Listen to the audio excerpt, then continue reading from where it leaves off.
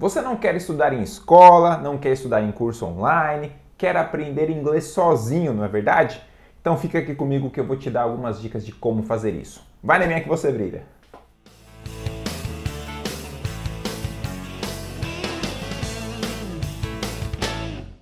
What's up, learners? Eu sou Júnior Silveira, professor de inglês. Seja bem-vindo ao meu canal Júnior Silveira, o canal de dicas de inglês com entretenimento deste Brasil. E hoje eu vou falar sobre um assunto muito polêmico, muito pesquisado aqui no YouTube, por isso que eu estou fazendo esse vídeo, para ver se eu consigo mais views.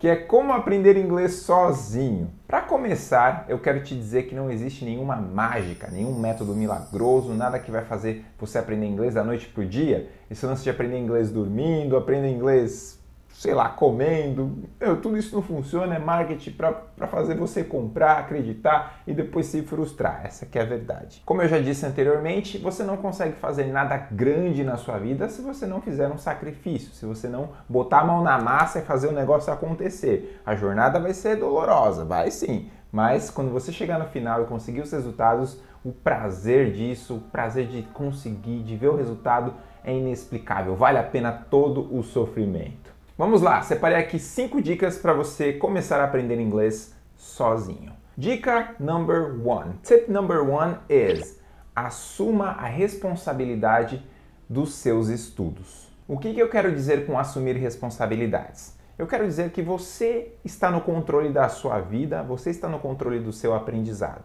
Nada nem ninguém vai fazer você sair do seu caminho. Você é que manda no bagulho. Você quer aprender inglês? Então assuma. Beleza, eu quero aprender inglês. Vou fazer de tudo para conseguir atingir esse objetivo. Você identificou que precisa aprender inglês, né? Por algum motivo. Então você tem que assumir essa bronca para você. Eu vou aprender, vou fazer whatever it takes, seja lá o que for. E um detalhe importante: não culpe terceiros pelos seus maus resultados, beleza? A culpa do sucesso é sua e a culpa do fracasso também é sua.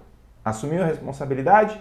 Então vamos lá. Tá pronto para dica número 2. Tip number 2. Separe um tempo para você estudar inglês todos os dias. Todo mundo aí tem uma vida corrida, agitada, eu entendo, todos nós temos. Às vezes fica difícil parar por de repente uma hora para você estudar um outro idioma, não é verdade? Mas você quer aprender inglês, lembra? Você tem essa responsabilidade, esse compromisso com você mesmo.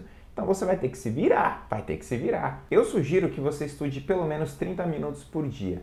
Mas se você quer dar um, um up né, no seu inglês, se você quer aprender mais rápido, pelo menos uma hora. Uma hora todos os dias você vai ter que se dedicar aos seus estudos. E é interessante que você selecione um momento do seu dia para estudar. Então você vai falar assim: bom, eu vou estudar inglês todas as manhãs, das 8 às 9. Então faça isso. Às 8 às 9 é sagrado. Ah, para mim fica melhor à tarde, da 1 às 2. Da 1 às 2 é o período sagrado de estudos. Ah, para mim só serve à noite, quando eu chego do trabalho, de repente das 10 às 11, antes de dormir. Então esse é o seu horário de estudar inglês. Não vai marcar outro compromisso, não vai jantar fora, assistindo. Não, esse é o seu horário do inglês. É o horário do seu compromisso com você mesmo. Muitas pessoas falam, ah, eu tô sem tempo, não tenho como botar isso na minha agenda, não sei o quê. Eu tô cansado de ouvir essas desculpas. Então não me venha com isso não, hein? Porque é aquela famosa história, quem realmente quer dá um jeito, não é verdade? Então se de repente aparecesse aí na sua porta um, um convite para você ir em um restaurante chique, do nada assim, ah, esteja daqui três horas nesse restaurante, você vai comer de tudo, leve sua família, eu tenho certeza que você iria, não é? Tenho certeza que você ia achar um, um horário aí na, sua agenda. Então não me venha com esse papo não. Number three sequência de aprendizado. Isso é muito importante. Você já assumiu a responsabilidade dos seus estudos, já definiu o horário que você quer estudar, agora tem que botar a mão na massa e ver a sequência, né? Não adianta nada você começar a aprender Present Perfect, que é um conteúdo intermediário avançado, sendo que você nem aprendeu o conteúdo básico ainda, né? Já que você não vai ter nenhum professor a princípio para poder te, te orientar, então eu aconselho, aqui no nosso canal mesmo, eu já fiz um curso de inglês aqui gratuito no meu canal, English Pocket Course. Então clica aqui ou aqui, sei lá, tem a playlist para você assistir as 10 primeiras aulas, que são as aulas que eu uso né, é, para alunos iniciantes. Então você já vai ter ali uma sequência né, engatilhada para você começar os seus estudos sozinho. Ou então eu sugiro que você compre um livro como por exemplo o English Grammar News do Murphy, né? esse livro Murphy, todo professor de inglês, você conhece esse livro, né? Esse livro tem uma, uma sequência muito legal de aprendizado, então você pode se espelhar se espelhar, você pode se inspirar neste livro para organizar os seus estudos, para né, organizar os seus estudos. Tem outro vídeo também que eu fiz sobre isso, né, sequência de aprendizados, eu vou deixar aqui e aqui também, tá, tá tudo, tudo por aqui. Step number 4, a dica número 4 é o seguinte, contato diário com o inglês. Contato diário, diário, diário. Saia da sua zona de conforto, abandone todos os hábitos que não vão te levar a nada e concentre-se no inglês. O que eu quero dizer com isso? Ah, se você tem o hábito de de repente ficar, sei lá, rolando a página do Facebook ali no celular, para com isso, você só está perdendo tempo. Ah, eu fico lá no grupinho de WhatsApp conversando com minha família, meus amigos, está perdendo tempo. Ah, eu estou assistindo a novela lá, três novelas por dia, está perdendo tempo. Por que você precisa ver novela? Para quê? assiste um seriado inglês, um filme inglês, vai pausando, anota as palavras e frases, expressões que você não, não conhece, vai estudando ali, meu filho, vai aprendendo ali e se divertindo ao mesmo tempo. Vai conhecer outro tipo de arte, né, que, que vai acrescentar alguma coisa na sua vida, vai ficar vendo novela. Você pode também mudar a configuração dos seus aparelhos eletrônicos aí, do seu computador, tablet, celular, tudo para o inglês. Como eu já falei em vídeos anteriores, no começo você vai ficar perdido, não vai entender nada, vai mandar mensagem errada, é tudo errado. Mas depois de um tempo você vai se acostumando, as palavras vão, vão internalizando dentro de você. Quando você estiver indo para o trabalho, pega aí o seu celular, ó, o fonezinho, tá no transporte público, coloca um podcast em inglês. E também é importante que você repita né, as palavras, as frases que você for ouvindo, porque é muito importante para você se acostumar a falar inglês, mesmo que seja um pouquinho se ouvir, né, gravar no seu celular aí, ó, o gravador de voz, você falando algumas palavras, frases em inglês, tem que se acostumar, a musculatura da sua boca tem que ir se acostumando também, né, a, a língua para cima, a língua para baixo, uh, entre os dentes e, e, tudo que é som do inglês. E não só indo para o trabalho, mas na academia também, em vez de colocar ali um, um funkão, um sertanejo, coloca o, o podcast em inglês ou áudios em inglês, né, você pode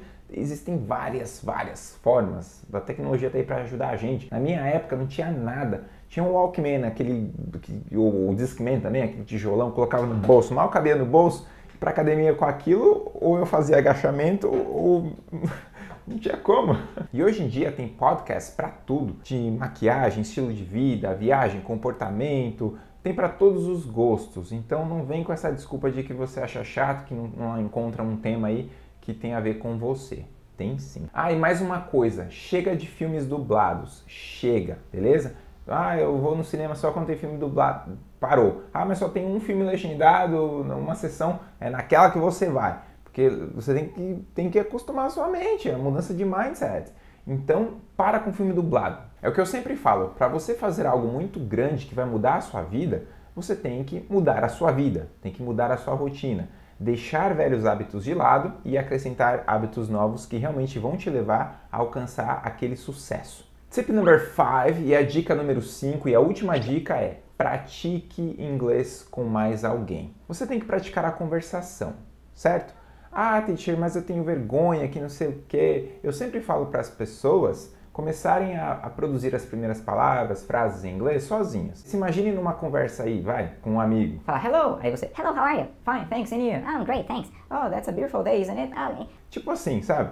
Imagina os diálogos, vai falando, fala sozinho, fala de frente pro espelho. É meio besta isso daí, né? Meio, meio bobo, mas dá certo, isso funciona muito. Perguntei para vários professores, muitas professores, né, quando começaram, faziam isso. Eu também já fiz várias vezes, minha mãe falava que era doido falando sozinho. Depois, sugiro que você converse com alguém que você conheça, que fale inglês. Se você tiver, lógico, um amigo, um, alguém da família, enfim. Talvez você não tenha ninguém nesse seu, nesse seu convívio, né? Círculo, círculo círculo de pessoas, não sei assim que fala. Mas é por isso que a tecnologia está aí para nos servir. E hoje nós temos né, várias plataformas, vários sites que você pode é, conversar inglês com um professor nativo ou com outro professor de qualquer lugar do mundo. Então faça isso, beleza? E eu sugiro aqui, aproveitando, o White Hockey. White Hockey é um site que você pode conversar com professores de diversos lugares do mundo 30 minutos, uma hora, enfim. Se você tiver interesse de conversar com um nativo em inglês, tem um link aqui na descrição do White Talk, onde é um link meu, tá? Personalizado,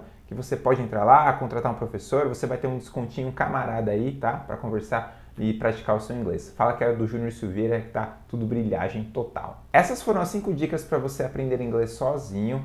Como você pode perceber, não foram dicas que custam muito dinheiro, na é verdade. Praticamente vai custar o quê? Sua dedicação, seu esforço, seu empenho e o quão e, e a sua vontade de aprender. Então, mão na massa e soca a bota aí. Like nesse vídeo para ficar feliz, não se esqueça de se inscrever neste canal, inscreva-se neste canal, ative o belzinho, ele vai te avisar quando tiver um vídeo novo no ar. E também me siga lá em todas as redes sociais, porque você está perdendo conteúdo extra lá, principalmente no meu Instagram, ok?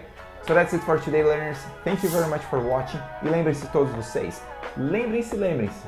See you around. Bye.